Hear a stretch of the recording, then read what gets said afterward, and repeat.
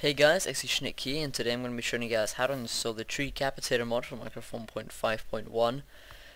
Now if you're watching this and the version is higher than 1.5.1 the installation process should be the same and if it keeps crashing for you guys uh, make sure you comment down below so I can re remake the tutorial.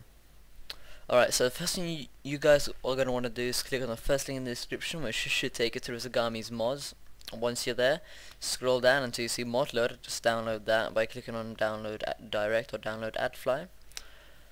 Once you download mod loader you're going to need to download the core and the mod itself.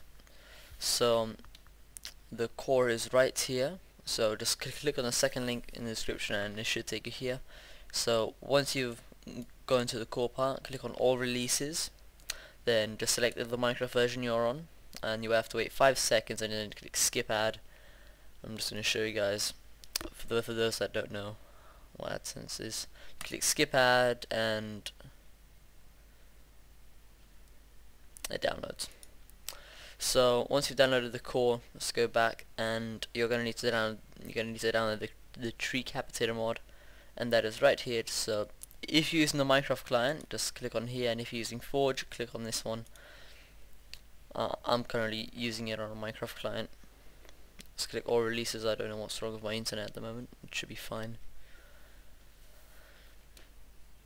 There we go. And then you click on that, and it's the same thing. You have to wait five seconds, and you click skip ad, and it downloads. So once you've got mod loader, the Treecapitator mod, and the core, we're going to need to install it. And the first thing you're going to want to do is click on start, then type in percent app data percent then click on roaming. Go on dot minecraft bin and open up minecraft.jar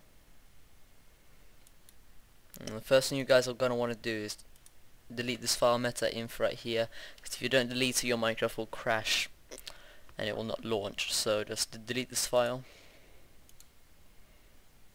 Go then the first thing you guys are going to want to do is open up mod loader.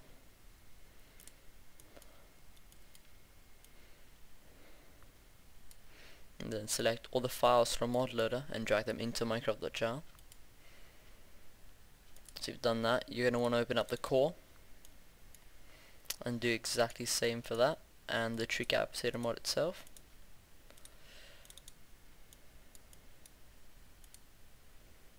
There we go and now the mod is installed so I'm going to actually just launch Minecraft and show you guys that it did actually install. I'll just log in. Also if you guys want to go check out my other videos I'm going to be posting games like Need for Speed, SimCity, um, what else? Hmm. um, I'm going to be posting uh, Voltz if you guys know what that is. It's a Minecraft mod pack and it's really interesting There's missiles and everything there. I find it quite. I find it to be quite fun. Oh god, my sensitivity is quite high at the moment. But okay, uh, let's just find it. We need an axe. We also need to go off creative. Oh my god, sensitivity is really high at the moment. There we go. Now, uh, how do I game mode. There we go. There's a the, the mod works fine and I also got an achievement. So if this video has helped you guys, make sure you hit that like button down below and also give this video a favorite. And if you guys want to stay updated with my videos, make sure you hit, you hit that subscribe button. And I've been XChnick and I'll see you guys next time. Bye.